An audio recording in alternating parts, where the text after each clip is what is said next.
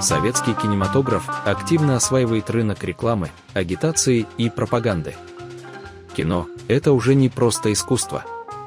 Кино становится инструментом продвижения в массы финансовых начинаний партии. Эльдар Рязанов, признанный автор новогоднего фильма в 1968 году, создал на Мосфильме ленту «Зигзаг удачи». Фильм вышел на экраны 30 декабря и был довольно успешным. Его сюжет можно было приурочить к любому советскому празднику. Фильм не имел конкретно новогодней нагрузки. А вот рекламную функцию он выполнял успешно.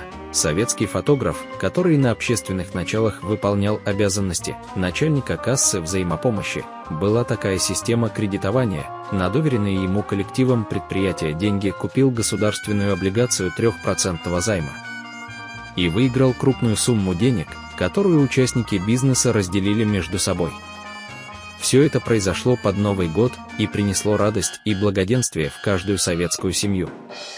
А в конце фильма удачливый фотограф радостно заявляет о покупке новой облигации выигрышного займа.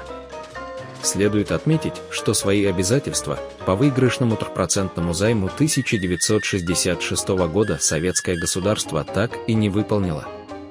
И после ликвидации Советского Союза у многих граждан СССР эти облигации так и остались лежать, как фотографии на память о прошедшей эпохе.